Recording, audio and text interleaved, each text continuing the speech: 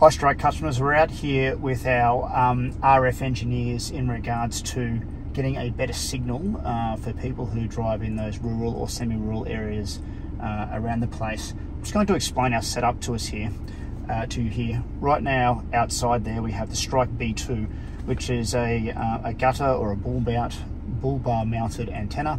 You can mount it anywhere really on the outside of your vehicle, but Strike B2 uh, is the best antenna we sell and we're very confident of its performance. That um, antenna is running into a Cel-Fi booster here, um, into the input of that outside. So effectively that's drawing the signal from outside of the car into the Cel-Fi booster.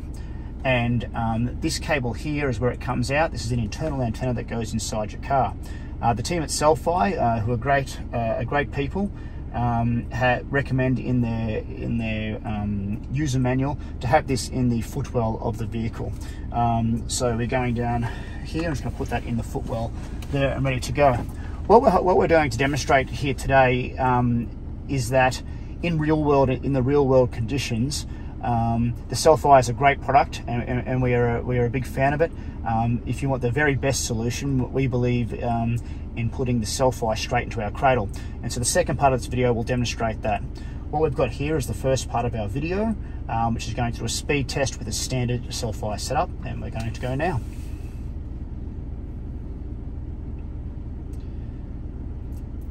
So what we're getting there is 15, or a little bit more, 17 um, megabits per second uh, as a download speed.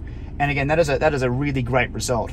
Um, a lot of people, uh, in regards to using the Cel-Fi boosters or even strike cradles, need to understand a really important factor.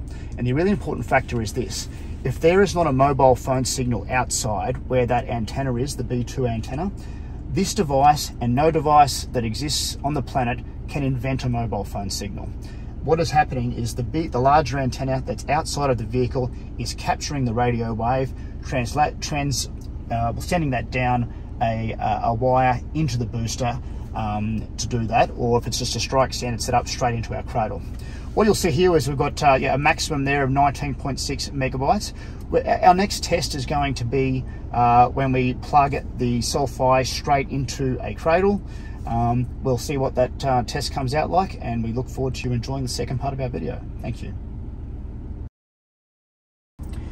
Here we are for our second video demonstrating the Cel-Fi um, Go product that is connected straight into a Strike Alpha Cradle. So what we've got here is a cable that comes in our packs uh, when you need this uh, from Strike on our website, just check that. It's running straight out of the Cel-Fi booster and into the back of our cradle, of which we've got an internal passive antenna. Now, each of these antennas inside strike cradles are positioned specifically for a, a, a device, a telephone. So the position for uh, an iPhone is different for a, a Samsung, say S22, for example. Um, so what we've got here is our second test, and uh, we're out in the bush, as I've already stated in our first video.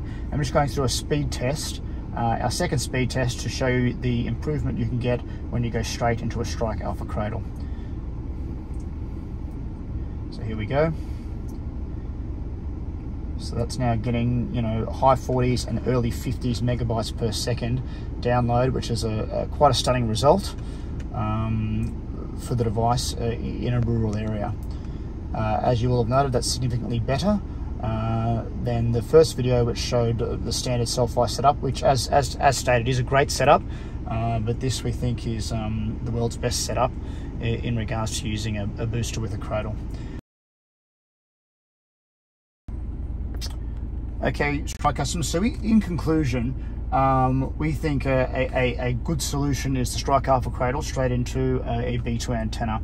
If you can afford it, uh, a, a, better solution is um, the Strike B2 with the Cel-Fi um, repeater, and the very best solution is the Strike, Strike B2 into a Cel-Fi um, booster and then straight into the back of a, an alpha cradle so you're getting the very best possible solution. Something that's really important to remember is that atmospheric conditions change um, and even things like a heavy foliage uh, or cloud cover can affect um, radio signals. So the best way after you get one of these devices to know if it's working for your needs is to actually use it for a few weeks and see if the call quality uh, of what you do improves. Uh, we're very confident because we do those tests ourselves um, and we encourage you to do that as well. Again, something to remember, you can't invent a mobile phone signal and no device ever can, so there has to be some signal outside that's available to capture to boost. We hope this has been helpful. If you've got any questions, please reach out to uh, the Strike team. We're here to look after you. Thank you.